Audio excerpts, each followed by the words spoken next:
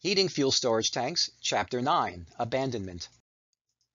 Normally, fuel tanks that are permanently out of service should be removed from the property and disposed of properly. However, in some situations it may be impossible or extremely expensive to remove the tank and it must be abandoned in place. In many jurisdictions, closure of underground tanks requires companies to be registered and certified. In areas where it's legal to abandon tanks in place, the guidelines of the local authority having jurisdiction must be followed. It is important to note that procedures are different for above ground storage tanks versus underground storage tanks. The requirements for abandonment generally follow the following procedures. For above ground storage tanks, remove liquid and residue from the tank and connecting lines and keep a record of removal.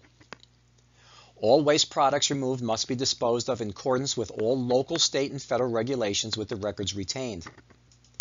All connected supply lines must be disconnected, removed, and properly disposed of.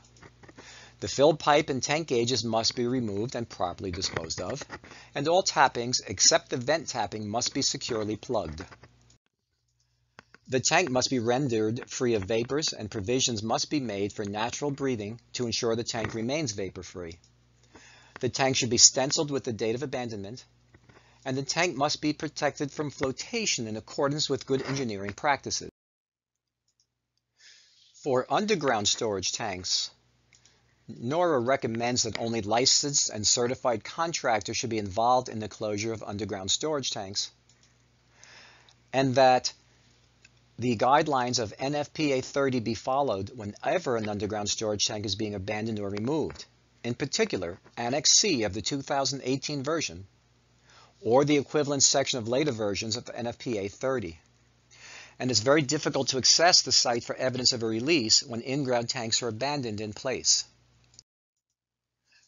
NORA cautions that closure of fuel storage tanks requires preparation of a safe workplace and requires adherence to OSHA safe work practices, including proper confined space entry, and the use of individuals certified as competent persons in excavation as applicable.